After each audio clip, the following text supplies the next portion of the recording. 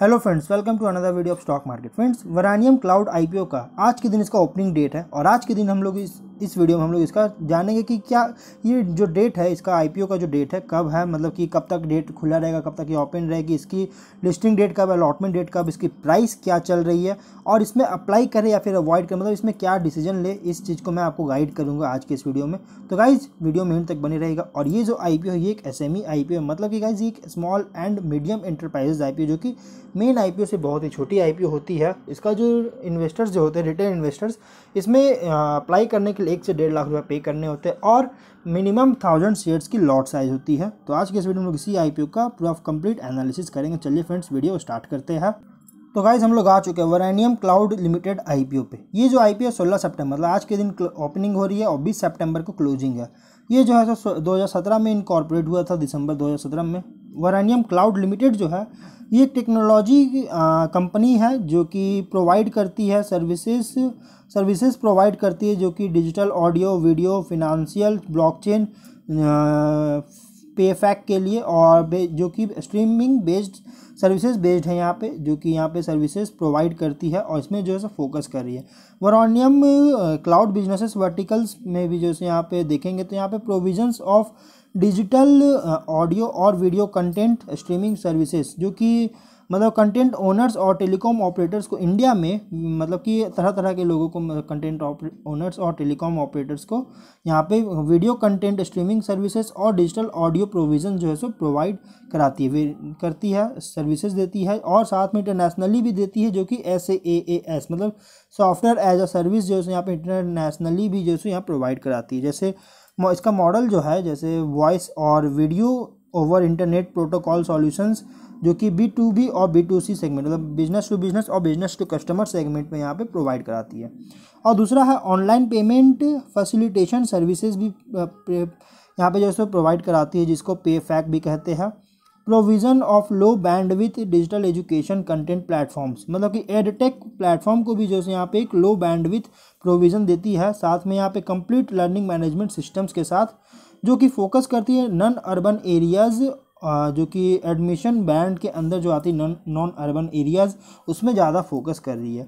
और प्रोविजंस जो है यहाँ पे देती है इंफॉर्मेशन टेक्नोलॉजी मतलब आईटी रिलेटेड सर्विसेज़ को, जो कि स्टार्टअप्स और एसएमई कंपनी को जो देती है, जिससे प्रोविज़न देती है, जिससे कंपनी जो है, अपने आप में मतलब कि अपने खुद जो है, सो ट्रांजिशन में, अपने बिज़नेस को जो है, सो डिजिटल प्लेटफॉर्म और यहाँ में, और साथ में यहाँ पे relevant infrastructure L A S infrastructure as a service model को मैनेज के साथ साथ जो है यहाँ पे अपने बिजनेसेस को ट्रांजिशन करने में हेल्प कर सके एस और स्टार्टअप्स मतलब कि अभी जिस तरह से गवर्नमेंट ऑफ़ इंडिया के इनिशिएटिव है डिजिटल इंडिया बनने का, जो इस चीज़ के लिए जैसे वरानियम जो है बहुत ज़्यादा फोकस कर रही है। और यहाँ पे इसका हम लोग अब बात करते हैं क्लाउड ऑफरिंग जो देती है क्लाउड प्रोडक्ट जो देती है वरानियम क्या क्या ऑफ़र देता है? तो ये देता है पहला एडमिशन का। जैसे एडमिशन जो है एक फाइव डिजिटल मतलब फ़िज़िकल और डिजिटल दोनों का मतलब मिक्सचर प्लेटफॉर्म है जो कि एजुकेटर्स और लर्नर्स दोनों को यहाँ पे साथ में मतलब कि देती है ऑनलाइन देती है। यहाँ पे जो सो प्लेटफॉर्म मतलब कि देता, करता है एजुकेशन एडमिशन देती है। और यहाँ पे इंस्टीट्यूशंस को भी जैसे डिजिटल क्लासेस में रन करने में हेल्प करता है। इस प्लेटफॉर्म में अराउंड वीडियो कॉन्फ्रेंसिंग सॉल्यूशंस भी है, जो कि लगभग एक मिलियन स्टूडेंट से भी ज़्यादा और दो हज़ार टीचर्स के भी ज़्यादा जो है यहाँ पे सपोर्ट सॉल्यूशन जो है सो देती है। जम टॉक भी यहाँ पे है, जो कि जम टॉक जो है प्रोवाइड कराती है क्लाउड प्लेटफॉर्म को, जो कि वीडियो और ऑडियो कॉन्फ्रेंसिंग वेबिनार्स चैट्स और फ़ाइल ट्रांसफ़र के लिए जो है सो क्लाउड प्लेटफॉर्म प्रोवाइड कराती है। ऑनलाइन पेमेंट फैसिलिटेशन सर्विसेज़ भी प्रोवाइड कराती है, जैसे पेफैक जो है, ये प्रोवाइड कराती पेमेंट गेटवे सर्विसेज़ जो नॉन अर्बन कंज्यूमर्स है, उनके लिए।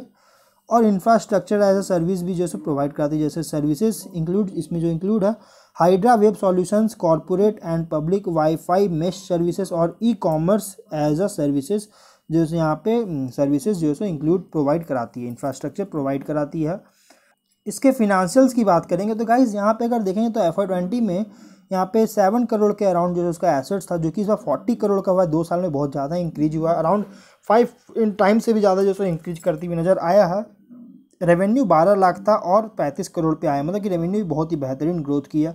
प्रॉफिट आफ्टर टैक्स जो है एफ़ आई ट्वेंटी में बहुत ज़्यादा निगेटिव था वन करोड़ का लॉस था, लेकिन उसके बाद जो सभी एट करोड़ का प्रॉफिट और हर साल यहाँ पे इंक्रीज करता वही देखने को मिल रहा है। नेट वर्थ यहाँ पे 1.8 करोड़ था, जो कि इस बार 15 करोड़ का दो साल में बहुत ही अच्छा इंक्रीज किया।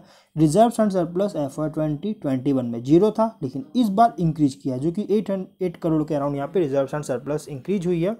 और अगर हम इसके ऑब्जेक्ट की बात करेंगे तो यहाँ पे ऑब्जेक्ट जो है, अपने तीन नंबर्स की जो कंटेनराइज्ड एज डेटा सेंटर्स है, उसको सेटअप करना चाहती है। तीन admission flagship digital learning centres को जो है रोल आउट करना चाहती है और स्टॉक एक्सचेंज से जो मतलब कि एडवांटेज मिलती है, उसको अचीव करना चाहती है। इन तीन वजह से कंपनी जो है सो आई ला रही है। इसके अगर हम लोग डेट की बात कर लेते हैं, हम लोग यहाँ पे थोड़ा सा डिटेल देख लेते हैं। 16 सितंबर से 20 सितंबर तक ये ओपन रहेगा। टेन रुपीज़ का फेस वैल्यू है। आईपीओ की जो प्राइस है one hundred twenty two rupees पर शेयर की आईपीओ की प्राइस है। थाउज़ेंड शेयर्स की लॉट साइज़ है। Thirty six point six crore का जो है, इसका इशू साइज़ है, जो कि फ्रेश इशू किया जा रहा है। एन एस में लिस्टेड होगी। अलॉटमेंट डेट तेईस सितंबर का है। छब्बीस सितंबर को रिफंड्स इनिशिएट किए जाएँगे और सत्ताईस सितंबर को शेयर्स डिमांड अकाउंट में क्रेडिट होंगे और अट्ठाईस सितंबर को लिस्टिंग डेट रखा गया है। और इसका जो लॉट साइज़ का जो अमाउंट है, एक लॉट अप्लाई कर सकते हैं रिटेल इन्वेस्टर्स लेकिन यहाँ पे जो अमाउंट है, एक लाख बाईस हज़ार रुपये पे करना होगा। तो अब हम लोग यहाँ पे इसके रिव्यू की बात करें। कंपनी जो है यहाँ पे एफ़ आई ट्वेंटी में एक लॉस देखने को मिला था, जो कि एफ़ आई ट्वेंटी में जैसे टॉप एंड बॉटम लाइन से बहुत ही बेहतरीन मार्केट ग्रो किया है।